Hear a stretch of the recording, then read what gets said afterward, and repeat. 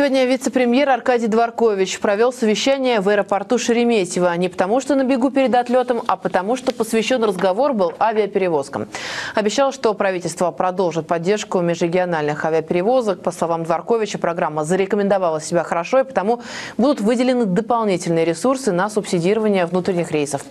Подробности узнаем у нашего корреспондента Анастасии Ефимовой. Она сейчас на прямой связи с Шереметьево.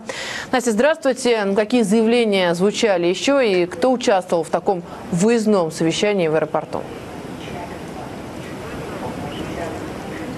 Да, здравствуйте, Мария. Но это действительно главное заявление сегодняшнего дня. Вы его уже озвучили. Российское правительство действительно будет поддерживать отечественных авиаперевозчиков.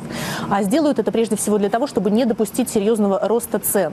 Как сказал Аркадий Дворкович, эта мера действительно уже хорошо зарекомендовала себя. Так, в частности, уже компенсирует частично цены на билеты по направлениям на Дальний Восток, а также в Крым. Ну и, видимо, теперь география будет расширена.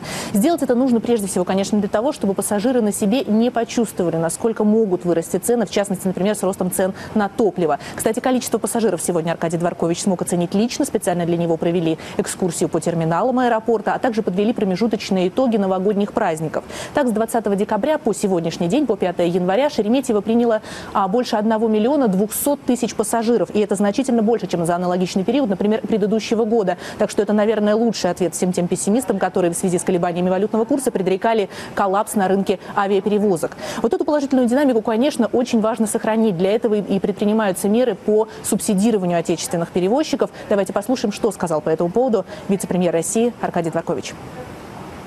Мы считаем, что надо принимать какие-то меры в целом э, по авиаотрасли, потому что мы все-таки, как все авиакомпании, сегодня работаем за гранью рентабельности из-за того, что пассажир не готов будет лететь, если мы повысим цены. Поэтому мы очень аккуратно, выборочно на некоторых направлениях мы это делаем, но в целом мы ценовую политику пока не меняем. Действительно, ситуация непростая. Мы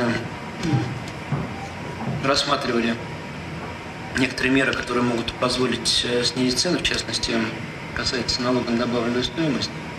Если, если его убрать, то это позволит небольшой задел прочности создать. Мы будем смотреть другие меры.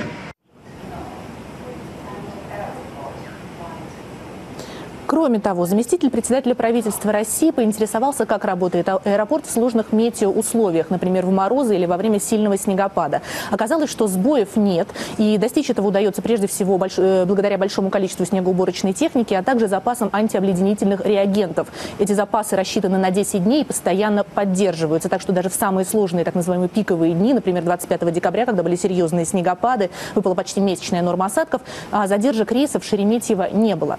Также Аркадий Заркович сегодня осмотрел Центр управления полетами, пообщался с диспетчерами, а еще он покормил рыбок. Это такой новогодний ритуал здесь, в Шереметьево. За 100 рублей можно купить корм, поддержать фонд защиты природы. Ну а главное, когда кормишь рыбок, можно загадать желание. Что именно загадал Аркадий Дворкович, он не сказал, но это, наверное, понятно. Любые желания должны оставаться в тайне до их исполнения. Но вот в книге отзывов Аркадий Дворкович написал «Результаты впечатляющие, продолжаем движение вперед». Мария. Да, Настя, спасибо. На 100 рублей можно и не только рыбок покормить. Из аэропорта Шереметьево была наш корреспондент Анастасия Ефимова.